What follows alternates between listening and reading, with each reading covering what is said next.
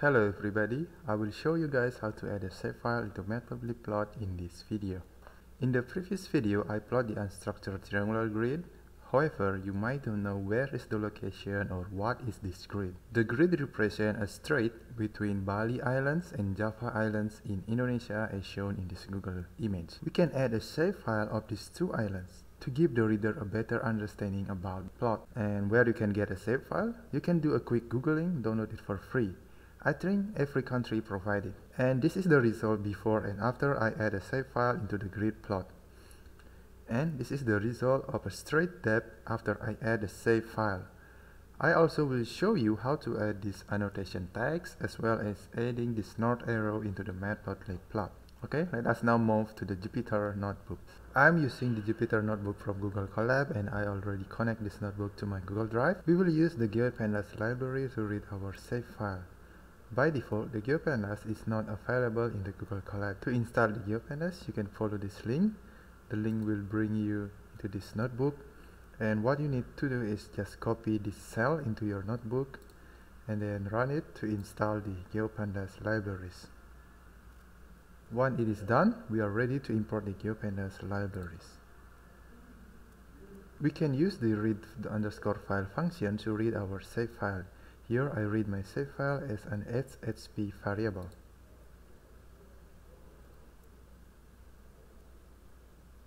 You can plot your save file using the dot plot function. As you see here, the GeoPandas using the matplotlib to plot the save file. This makes our jobs much easier because we can plot the shapefile and then use the matplotlib to customize our plot. Here I create the figure and axis objects and we can tell the dot plot function to plot the shapefile at our axis object.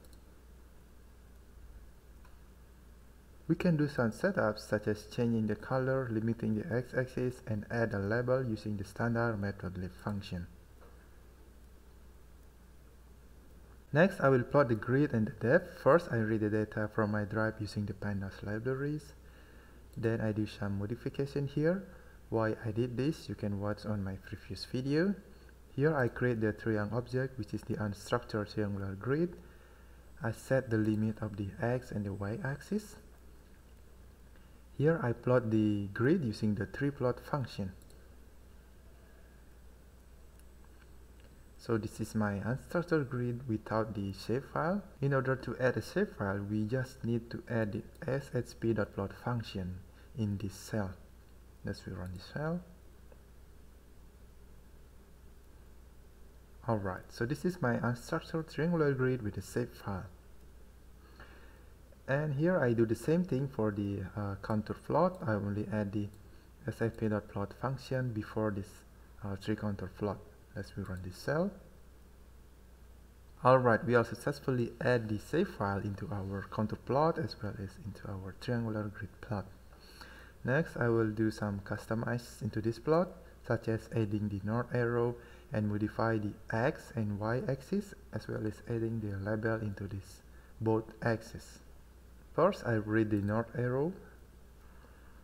Here I read the north arrow image using the matplotlib imread function. Let us preview the north arrow.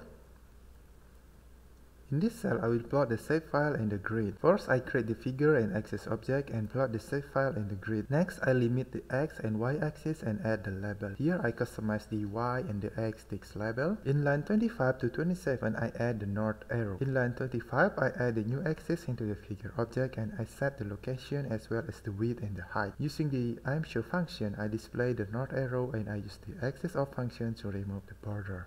In line 30 to 31, I added annotation text.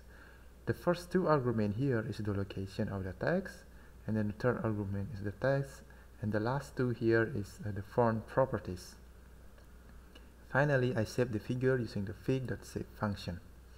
Okay, let's rerun this shell.